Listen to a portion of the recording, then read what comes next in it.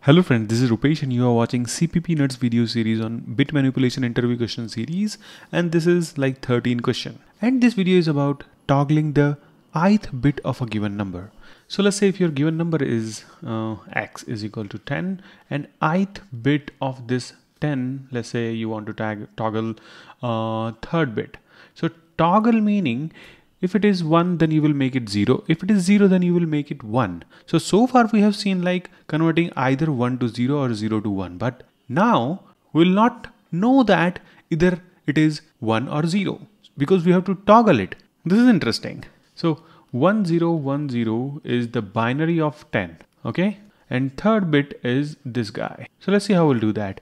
So basically if you have ith bit in the question then you just close your eyes and create one mask like this i minus 1 so this will create a mask which will actually look something like this.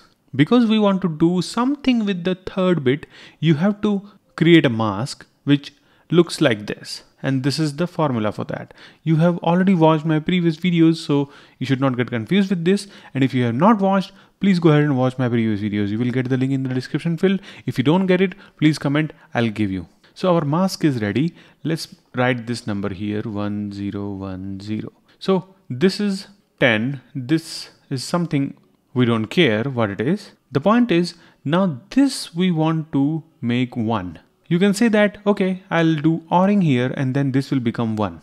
No problem you can do that. Then the result is this. This is desired result.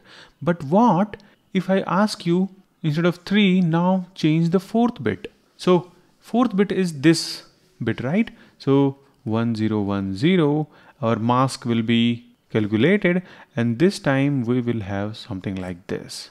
Now if you do ORing here, because you give the solution to do the ORing. So if you do OR here, it is still going to be like this. So this is 0. So there is no change, but we wanted to toggle this bit, right? I mean this bit.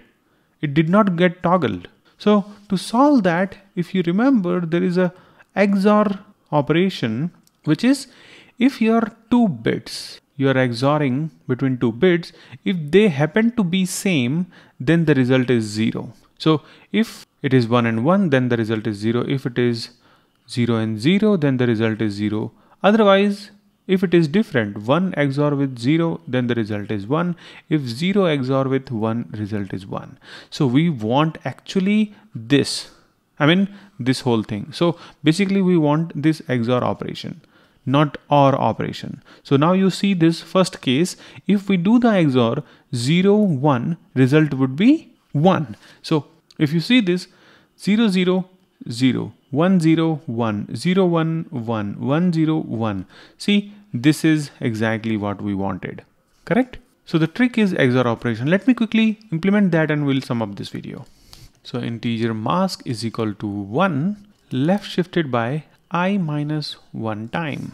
Okay? Our mask is ready. Now in integer rs cell equal to mask XOR x. Let's compile this. It got compiled and if I run this it is giving you 14 so actually this is 14 because triple one zero is 14 if you'll put one zero I mean one here it will become 15 right? So this is actually working. So thanks for watching guys. Bye bye take care. I'll see you in the next videos. Till then take care